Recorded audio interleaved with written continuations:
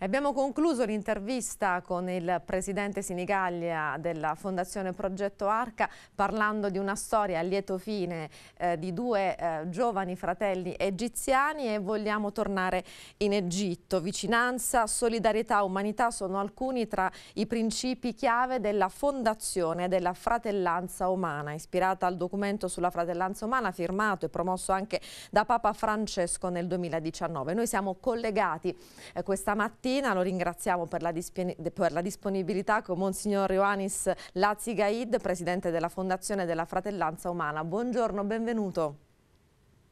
Buongiorno a lei e a tutte le persone che ci seguono. Sono numerose le attività che la Fondazione promuove, può illustrarcele? Eh, la nostra Fondazione Fratellanza Umana, come la nostra Associazione Bambino Gesù del Cairo, come lei ha detto, sono sperate e fondate e basate sul documento sulla fratellanza umana, firmato dal Santo Padre Papa Francesco e dal grande imam di Al-Azhar, dottor Ahmad Al-Tayyib, eh, ad Abu Dhabi. Dopo la firma eh, è nata la domanda come possiamo trasformare questo concetto della fratellanza in qualcosa di concreto, qualcosa di, eh, eh che aiuta le persone veramente. Ecco perché attualmente stiamo lavorando su quattro iniziative. La prima è un orfanotrofio chiamato Oasi della Pietà, eh, a cui il Santo Padre ha regalato, ha dedicato una copia della pietà e da questo regalo noi abbiamo sperato anche il nome, che è una casa che accoglierà centinaia e centinaia di bambine e di bambine privi dell'assistenza familiare e darà loro tutto ciò che noi desideriamo dare ai nostri figli, cioè casa, eh, formazione, eh, assistenza, eh, tutto quello che noi desideriamo dare ai nostri figli. Questa è la prima iniziativa iniziata nel 2020 e tra pochi mesi, eh, a metà aprile, eh, aprirà le, la, le porte a ricevere i primi ospiti con l'aiuto di Dio ovviamente e con l'aiuto di tutte le persone che ci hanno eh, aiutato in questi anni. La seconda iniziativa è l'ospedale Bambino Gesù del Cairo e dal nome si capisce che è sotto uh-huh. la supervisione scientifica del Bambino Gesù di Roma per eh, affrontare la grave situazione delle malattie rare e ereditarie sia in Egitto sia in tutto il Medio Oriente. Un'altra iniziativa molto bella è quella dei convogli sanitari, le caravane mediche che eh, offrono assistenza medica e sanitaria a tutti i bambini poveri dove non ci sono strutture mediche. Quindi eh, andiamo con i nostri medici per offrire medicine, vaccine, assistenza gratuitamente a migliaia e migliaia di bambini ogni settimana tra 800 e 1000 bambini eh, dove c'è bisogno.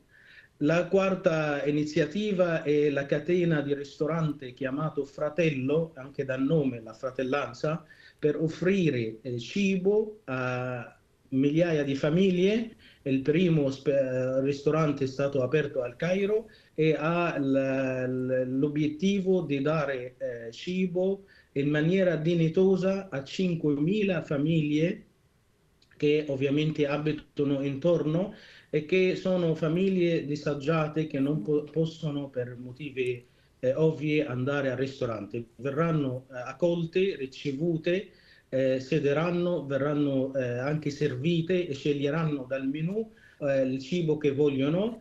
E la cosa bella è che questa iniziativa si basa sulla solidarietà, quindi le persone che possono eh, dare aiuto eh, praticamente caricano una carta prepagata che servirà alle famiglie povere che non potranno eh permettersi questa possibilità. Queste sono le quattro mhm. iniziative sul quali lavoriamo come associazione e come fondazione. Bene. Don Ioannis, ehm, c'è tanto lavoro dietro, lo abbiamo capito anche dalle tue parole. Eh, torneremo tra qualche istante sull'ospedale Bambin Gesù, ecco dal nome evocativo come giustamente hai detto tu. Tu tra l'altro sei stato segretario particolare di Papa Francesco per tanti anni. Come ha accolto il Papa questa notizia, potremmo chiamarla così, questo davvero rimboccarsi le maniche a favore di bambini e persone bisognose?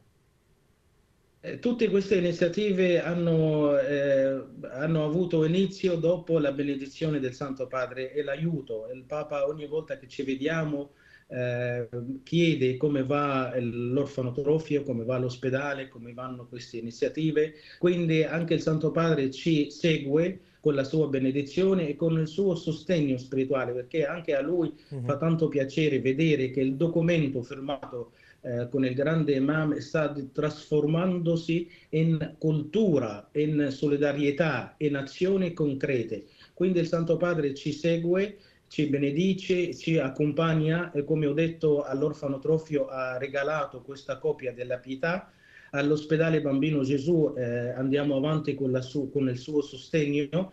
E questa iniziativa per esempio del ristorante ho avuto il piacere di presentarla al Papa con eh, un altro imam in visita privata che è il consigliere del Presidente della Repubblica Egiziana che siamo andati da lui, gli abbiamo parlato di questa iniziativa e lui eh, l'ha accolta molto bene, ci ha incoraggiato di portarla a termine e con veramente l'aiuto di Dio è stato inaugurato questo primo ristorante che sarà il primo di una catena in tutti i posti dove c'è bisogno.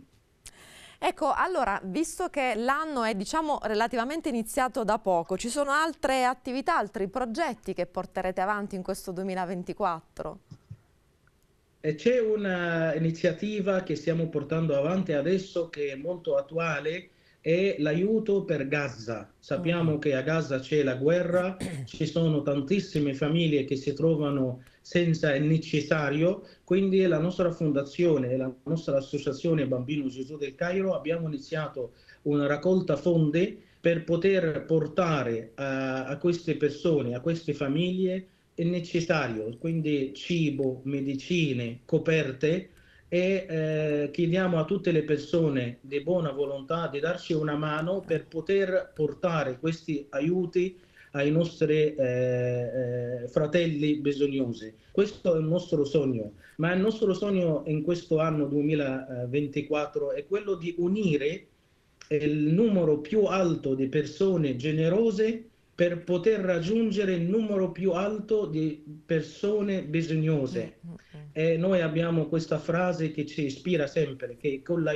con il poco di tante possiamo fare la differenza e che eh, tutto il buio del mondo non può mai spegnere la luce di una piccola candela. Quindi non si tratta di fare cose grandi, ma di fare cose piccole con grande amore. Don Ioannis, concretamente come possiamo aiutarvi? La, la, gente come può mettersi in contatto con voi per, ecco, anche eh, logisticamente, potremmo dire, eh, portare aiuto a chi ha più bisogno? Ringrazio per questa domanda. Io invito tutte le persone che ci stanno seguendo a visitare il nostro sito bambino gesù-eg per Egitto Com. Là sul sito c'è una pagina dove tutte le persone possono trovare tutte le modalità per darci una mano. Una delle modalità che mi fa piacere adesso spiegare alle persone è quella di eh, regalare una formella.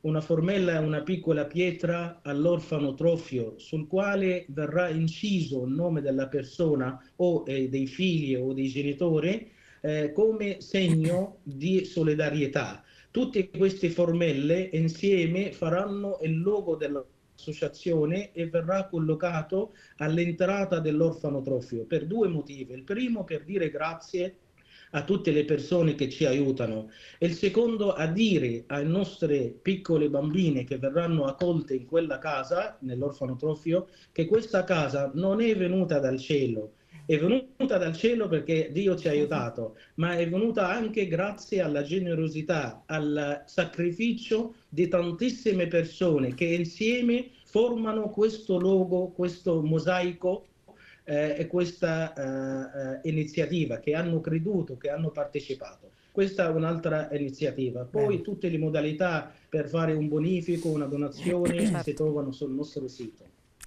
Grazie, grazie di cuore per questa sua mh, grande testimonianza, grazie per quello eh, che fate, naturalmente rimaniamo, restiamo a disposizione anche per fare da cassa di risonanza ad altre iniziative e per sapere un po' anche come stanno andando i progetti in corso. Grazie, grazie Don Ioannis. Grazie a voi e vi invito all'inaugurazione dell'orfanotrofio a metà aprile con l'aiuto di Dio. Grazie, grazie di cuore. Ci fermiamo per la pubblicità, adesso eh, qualche istante di pausa e poi l'ultima parte di Just Today.